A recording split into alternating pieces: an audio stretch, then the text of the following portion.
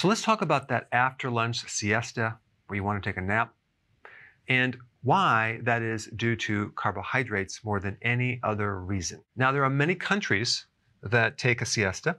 And by the way, siesta comes from the Spanish word meaning nap and the Latin word for sixth hour.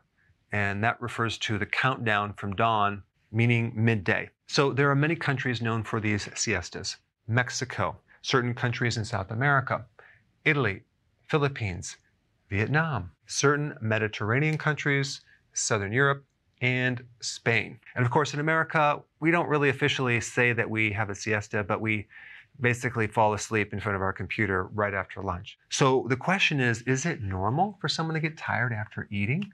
Now, there's actually a medical term for this postprandial, which means after a meal, somnolence.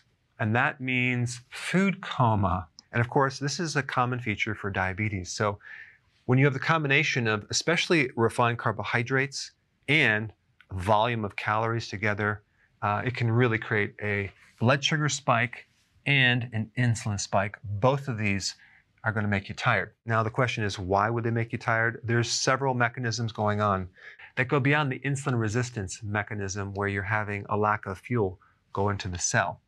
All right, number one, you activate something called the parasympathetic nervous system. So there's two parts of the autonomic nervous system. You have the sympathetic, which is flight or fight, and the parasympathetic, which is rest and digest.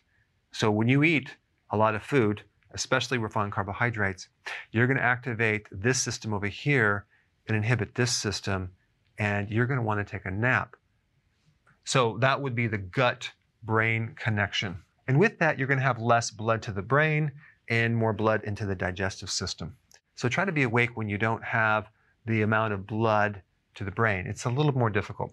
All right, three, decreases the arousal pathways in the hypothalamus in the brain, making you tired. And number four, and this is interesting, when you consume a high carb diet, you're going to absorb certain amino acids, but not others.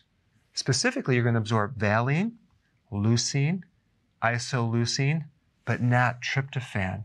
So, tryptophan is going to be absorbed through the blood brain barrier, and it's going to directly turn into serotonin and melatonin, the sleep hormone. So, if you live in any one of these countries or in the US, I want you to try an experiment. Like in Mexico, you would have tortillas and corn based type things, rice. Italy, you're going to have pasta. Philippines and Vietnam, you're going to have rice noodles. The Mediterranean, you're going to have more pasta and bread. Southern Europe, well, you might have potatoes or some other starch. And in Spain, you're going to have more carbs. So here's a challenge try not consuming carbohydrates at your lunch for one week. And you're going to find your energy is going to go straight up. The need for a nap is not going to be there. And for those of you that are new to my channel, check out this video on low carbs. It will tell you exactly what to eat.